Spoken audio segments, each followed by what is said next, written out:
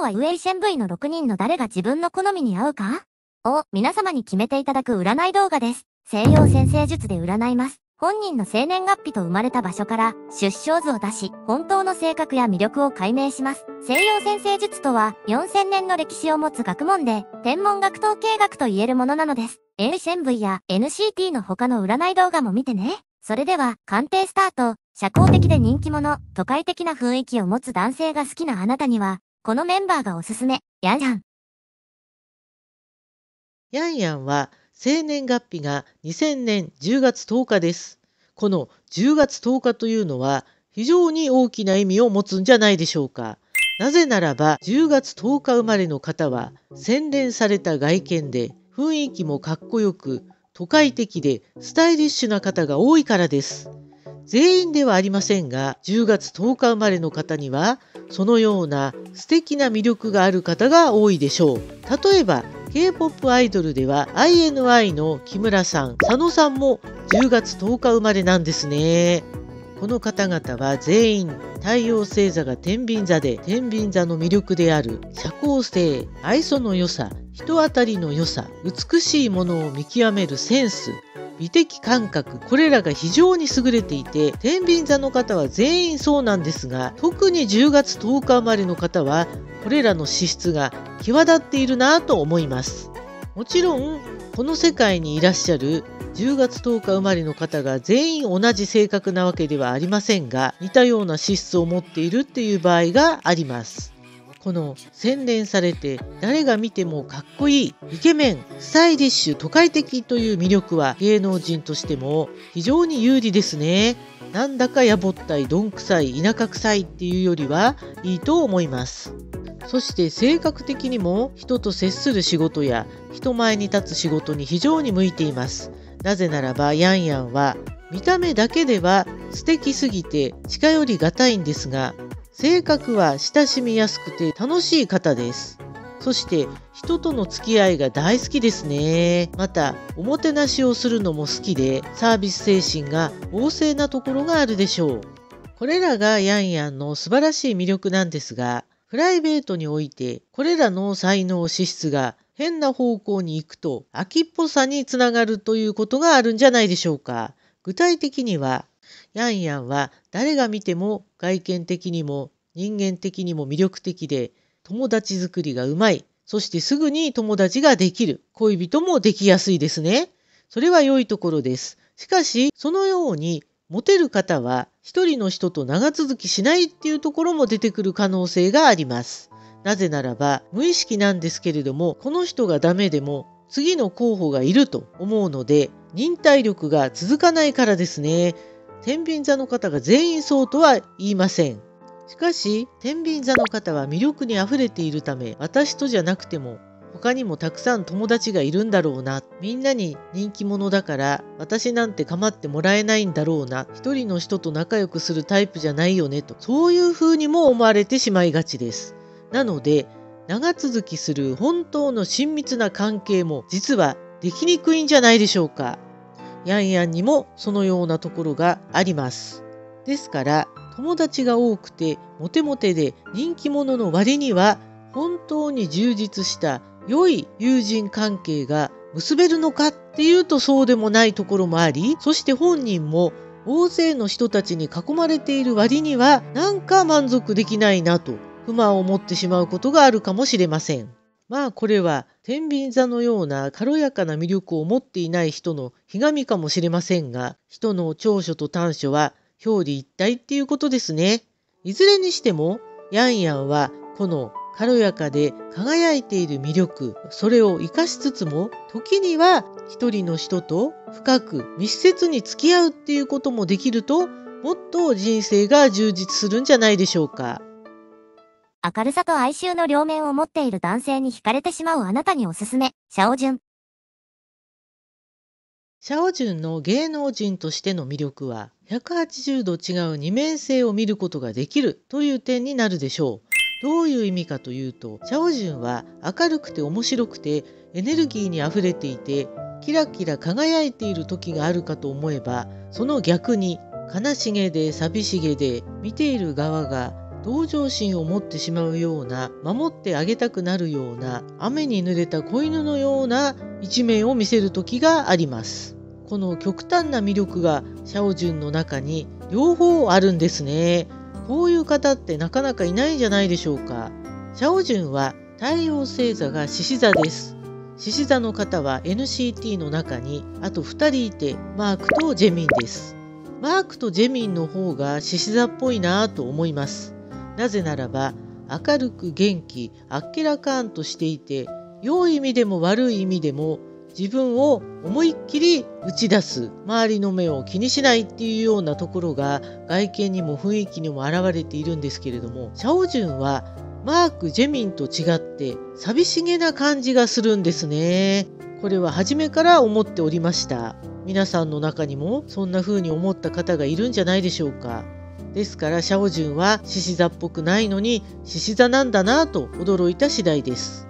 実際シャオジュンの性格としては先ほど言ったように180度異なる魅力を備えています。元気で明るく楽天的なところもありながら情緒不安定で落ち込む時はドドーンと落ち込むそういうところがあるでしょう人間は誰でも表と裏の顔がありますがそれにしてもシャオジュンの場合はそれが極端です。しかしこれは決して悪いことばかりではなくてシャオジュンのミステリアスな魅力。明るいんだけれども時折見える寂しげな感じ。これが芸能人としてファンの心を揺さぶりますね。私は揺さぶられました。ちなみにシャオジュンは好きな人が目の前にいると人が変わったかのように頑張る。その人に褒められたいがために認められたいがために急にやる気が出るとそして才能が最大限出てくるっていうところがあるでしょう男性は誰でも褒められたいという気持ちを強く持っていて女性から評価され認められたいがために頑張るっていうところが誰でもあって女性が見ている時と見ていない時の頑張り具合があまりにも違うところがあります。それだけ男性は褒められたい願望が強く、時にそれが鬱陶しいなぁと思えることがあります。皆さんも男性の褒められたい願望、僕を褒めて褒めてというその欲求には辟易したことがあるんじゃないでしょうか。私は何回もあります。男性は誰でも女性よりも先天的に褒められたいという願望が強いのですが、シャオジュンの場合もかなりこれが強く、それは良いことでもあります。なぜならば、女性から女性ファンから認められたい褒められたいちやほやされたいという気持ちがあるから頑張れるわけですね。これは仕事プライベート関係なくシャオジンの人生において周りの人から褒められるかどうか認められるかどうか特に女性からさらに好きな女性から褒め言葉をもらう認められる。それが一番重要なので自分でもこの資質を理解していった方が良いかもしれません。なぜならば好きな人の前では自分の才能が思いっきり出るからです。ここで主の占いサイトのお知らせです。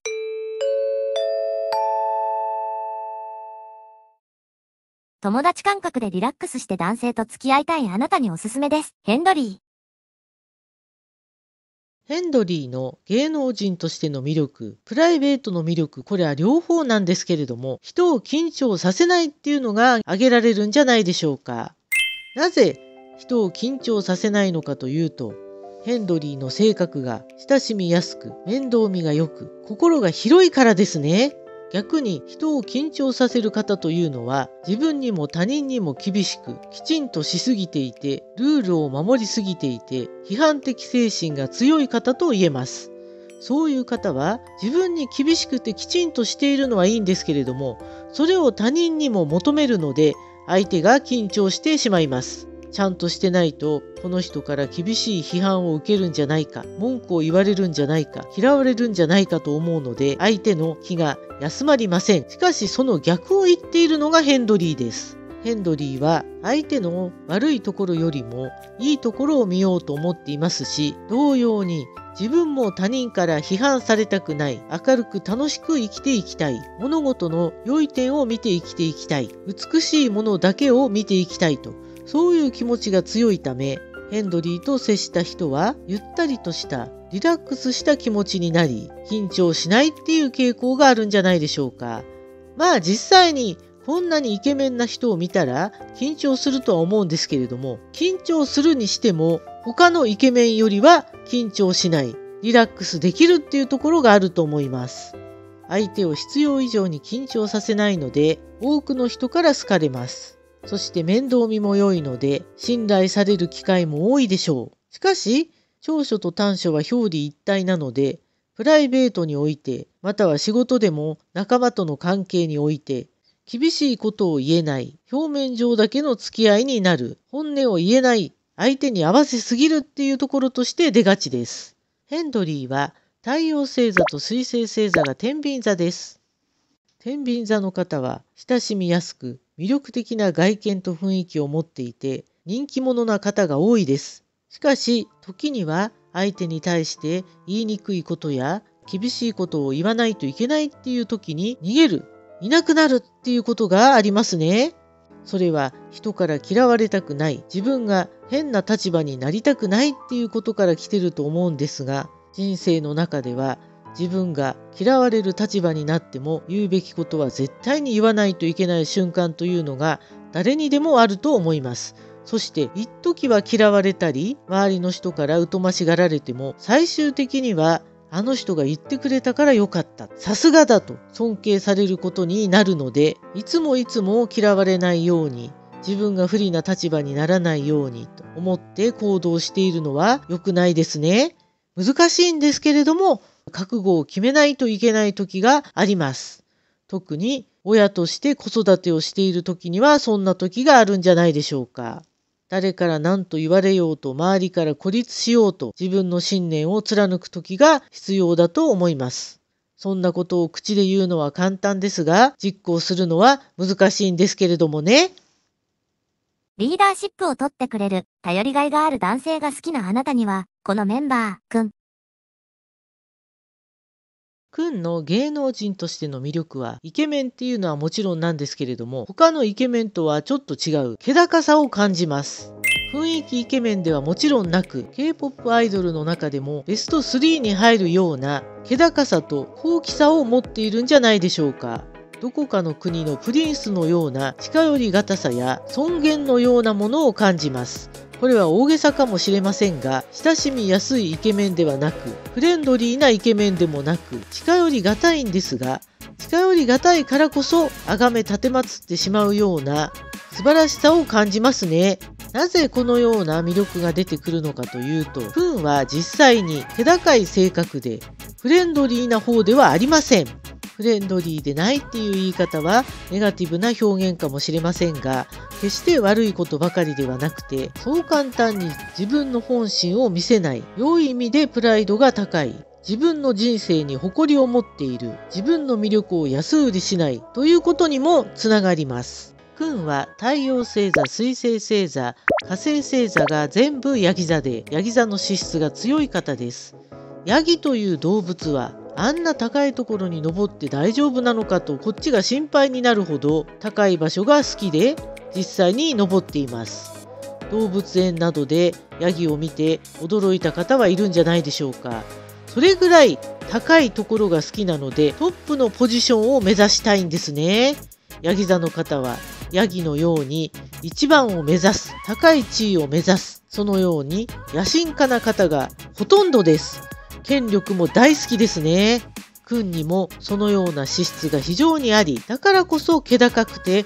プライドが高く、誇りを持った生き方ができるんじゃないでしょうか。実際にプライドが高いだけではなくて、自制心が強く、目的意識もかなり強いです。そして必ず目標を達成するんだというパワーを持って生きています。そのような真剣な姿勢が外見にも現れているので、気高い人と思われるんじゃないでしょうか。プライベートの君は、先ほど言ったような気高さやプライドの高さ、誇り高い性格が災いして、好きな人や愛する人に対し、横柄になりやすいと言えるでしょう。いつもではありませんが、高飛車な態度や上から目線の態度が目立ちます。これは、ヤギ座の方全般に言えるんじゃないでしょうか。特に男性です。私はヤギ座の親族がいるためこれがものすごくわかり、身をもって体験しているのですが、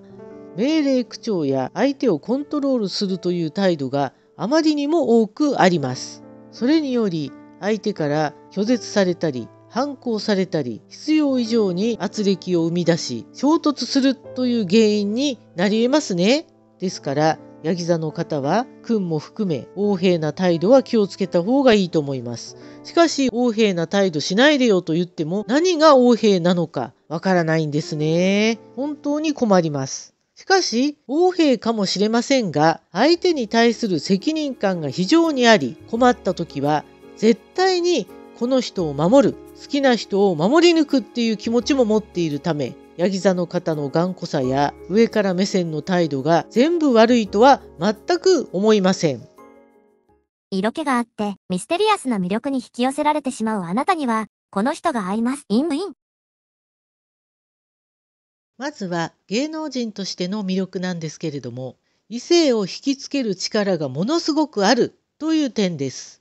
これは過去の占い動画で何回も言っておりますね。ウィンウィンは半径5メートル以内の女性の視線を全部釘付けにする女性がウィンウィンから目が離せないという状態をどこに行っても作り出してしまうと言えるでしょう。なぜそう言えるのかというとウィンウィンは金星と火星が0度の時に生まれています金星は恋愛傾向やその人の趣味楽しみなどを表しそれが火星とぴったり重なった0度の時に生まれたということは恋愛が火のように燃える恋愛したいという気持ちが火のように強いと言えますですからウィンウィンは生まれながらにして恋愛大好き強い愛情欲求を持っているまた性的な魅力にあふれている官能的で情熱的と言えるでしょう。このように自らが恋愛大好きで女性との出会いを求めている人は自然と魅力を放っています。この動画を聞いてくださっている方の中にも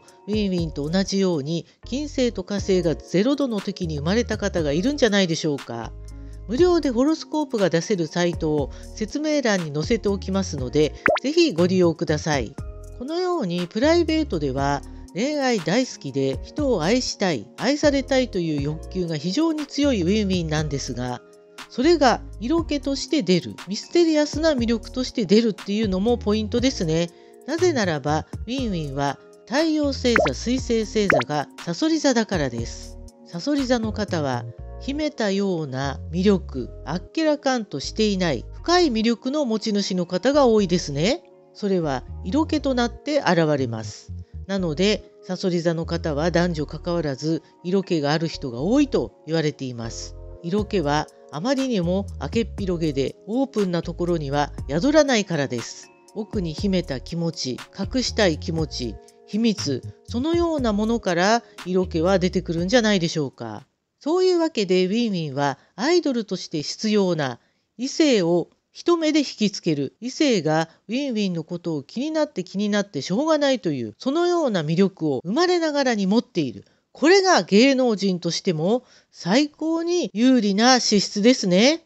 次はプライベートでの意外な魅力なんですけれども人からよく思われたいという気持ちが強く出過ぎる時があるかもしれません。これは絶対というわけではないのですが時折そうなってしまうのではないでしょうか。なぜそう言えるのかというとやはり先ほど言った金星と火星が0度っていうのが関係していると思います。ウィンウィンは恋愛大好きで多くの人から愛されたい愛したいという欲求が非常に強いためいろんな人に愛情を振りまくみんなにいい顔をするっていう風にもなりがちです。そして自分のことを愛してほしいと思うあまりナルシスト傾向っていうのも出るかもしれないですね。誰でも自分のことは一番大切ですし多かれ少なかれナルシスト傾向というのは人間にはあって当たり前なんですけれどもそれが結構強い方かもしれません。しかしビンウィンはこのように人を引きつける能力が天才的にあり誰もそれに抗うことはできないのでその自分の魅力を最大限に発揮できるアイドル芸能人という仕事を選んだのは運命と言えるんじゃないでしょうか。転職だと思います。母性本能をくすぐる、可愛い系男子が好きなあなたには、この人、天。天の芸能人としての魅力は芸術的な才能があるっていうのはもちろんなんですけれどもそれ以外としてはいつまでもフレッシュで若々しい雰囲気の持ち主っていうことです。天は何歳になっても今持っている少年のような何者にも染まらない若々しくて老け込むことがない人を引きつける自由な感性に恵まれると思います。天は太陽星座と火星星座が魚座です。魚座の方は外見も内面もフレッシュで若々しい方が多いですね。というのも魚座は自由気ままでこの世の常識には染まらない自分の直感によって生きてゆく目に見えないものそれらを大切にして生きている人たちだからです。この世の常識だけで生きている人ではないんですね。常識って何？なんでそれに従わないといけないの？それよりももっと大切なことがあるよねと。自然にそう思って生きているのでこの世の目に見える規則やルールそれだけにとらわれることはなく目に見えないものを大切にします。ですから生き方が自由で他人から理解されないことが多々あります。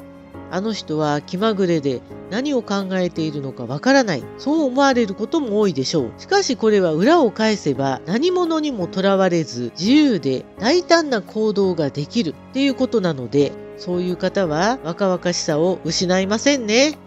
なぜならば、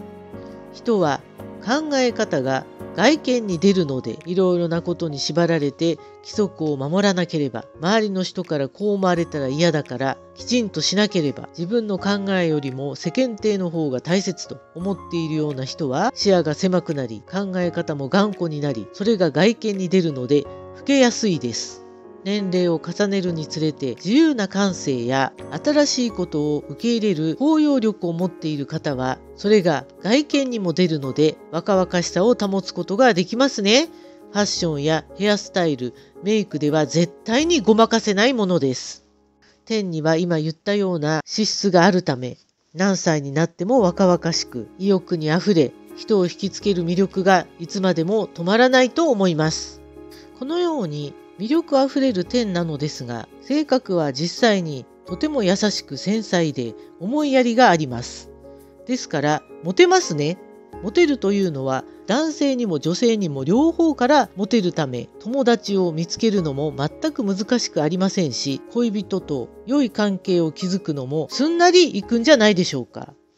天に限らず魚座の方は優しくて人を受け入れる力がものすごくあるのでモテます。本人さえその気になれば友人や恋人に不自由することはないと思いますね。しかし自分が非常に愛情深くて相手に対する思いやりが深いため同じぐらいのレベルの愛情を相手にも求めがちっていうところがあるんじゃないでしょうか。そういう人は正直言って少ないです。魚座の方が特別だからですね。魚座の方のように愛情深くて純粋な愛を相手に差し出せる方はそんなに多くないので自分と同じような高いレベルの愛情を求めすぎるとかなり候補者は少ないっていうことになります。じゃあ同じ魚座の人と付き合えばいいんじゃないかと思うかもしれませんけれども魚座同士ですとあまりにも似ているがゆえに同族嫌悪に陥ってあまり魅力を感じないまたは